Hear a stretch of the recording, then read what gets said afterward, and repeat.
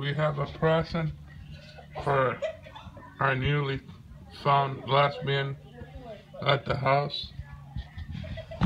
And for us, it's an enjoyment because we support the gay community highly over here.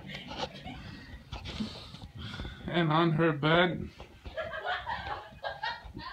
since she's a full lesbian,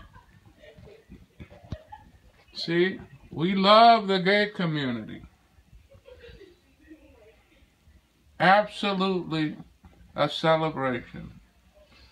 We just found out that our beloved Brady Bunch daughter Cynthia is a, a full-blown lesbian. She's what I call undercover bi. Yes, we're proud, girl.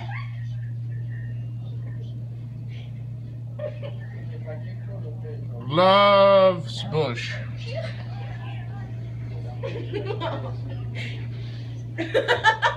Wave to the camera, our newfound gay person.